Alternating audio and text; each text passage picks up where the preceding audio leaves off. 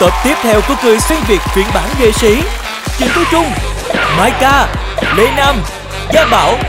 và Buka sẽ gửi lời xin lỗi đến những ai thông qua những tiết mục hài hước của mình.